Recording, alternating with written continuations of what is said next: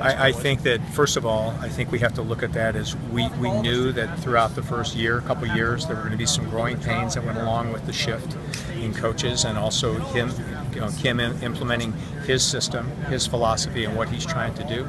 Um, our encouragement with Kim and others have been you got to just stay the course. Keep doing the things that you're doing. We've seen this play out in a different number of areas, whether it has to do with football for Mizzou, wrestling for Mizzou, volleyball for Mizzou, swimming and diving. These programs that are now becoming pretty nationally successful is that if we can just stay consistent with what our foundation is and our values and be a little bit patient, it's going to happen. But you're right. In today's day and age, patience is is, is not as much. I mean, it's not as uh, as well as seen as much as it used to be in the past. But I do think that our fan base understands that. I think our university, I know our university understands that, and our leadership understands that as well too. Okay.